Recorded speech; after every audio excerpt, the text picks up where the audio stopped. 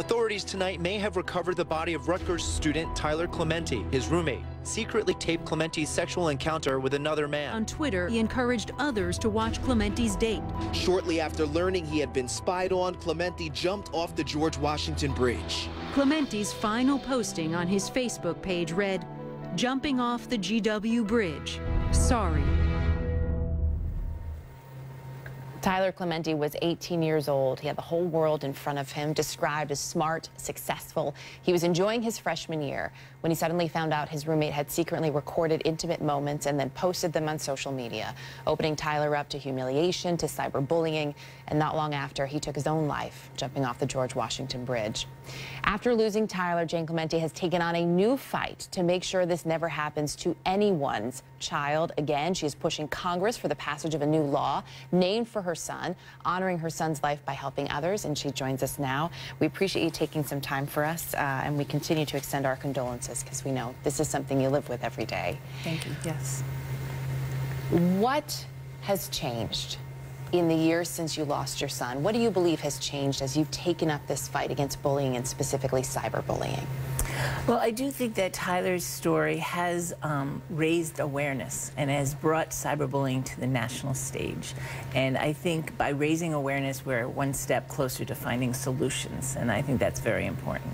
What do you think we didn't know before that we know now about how pervasive it is or even how easy it is?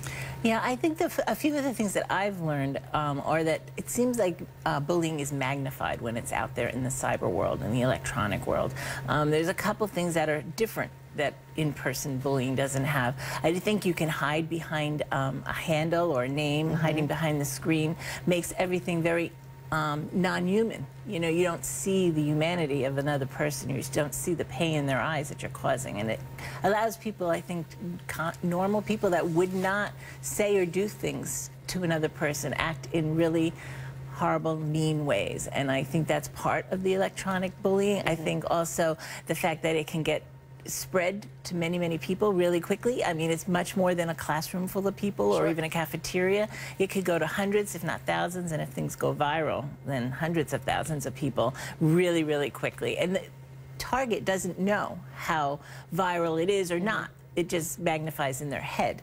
And also the biggest thing, which I think really played a big part in Tyler's story, is that you can't escape the bullying. It's not like it happens at school and you can come home to the safety of your room or your home or your dorm room, but anywhere you have an iPhone, anywhere you have mm -hmm. a mm-hmm. computer, you can open up and log into and see the tweets and the posts. And Tyler logged in. He didn't have an iPhone at the time. It was pre-iPhone, so right. that makes things worse because now you have more access sure. to things. But he had a laptop computer, and he logged back into the tweets and posts over 59 times in a short seven, eight, nine-day period. He even took screenshots of the posts, so he had access to them, mm -hmm. and he mm-hmm. was looking at them, and he only became consumed with and and tortured by, I suppose, the words of people that were trying to humiliate him. Right. And he didn't know how to shut it down and, and find the help that he had available. And I think that that is really critical in the story. I think you need to shut it down, turn it off, and, and you need to reach out for help. And that's part of what you're working to do now. We should point out, too, it's not just, it's amazing how bullying has grown. It isn't just kids at school who are experiencing it, or even kids in college. I mean, I would make the case that you see it all the time now on social media, grown adults right. bullying other grown adults and hiding behind that anonymity of some sort of a handle or a, you know, even a fake name. Some of the things that really stood out to me is that 43% of kids say they've been bullied online. 70% of kids say that they see it. And that's, I know, one of the things that you're working to change is that they not just see it, but they say stand something. up and they say something. Right. And so, so how are you getting that message out?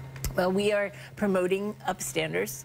That are, those are people that are bystanders, because in 80% of all bullying situations, there are bystanders, and certainly on the internet and electronic world, there are bystanders, many, many bystanders, and we want those bystanders to speak up and, and, stand up and speak out and become an upstander. So that's one of the things we have a pledge to promote becoming an upstander. Mm -hmm. um, and that is saying something, um, either calling out the behavior or the words. If you feel safe, we always want people to be safe. Right. We don't want anyone getting in harm's way. And sometimes just acknowledging those words aren't acceptable, those actions aren't acceptable, is enough to change behavior. But if it's not enough to change behavior, or if you're not safe, mm -hmm. then you need to know to tell a trusted person of Right. authority. In adults, another authority, or in young people, to tell an, a, an adult. Because I think that's also, if an adult had been brought in into Tyler's story, maybe things would have been different. Have and certainly if some of the bystanders that have been seeing things had spoken up, or even spoken to Tyler, which is another way to be a bias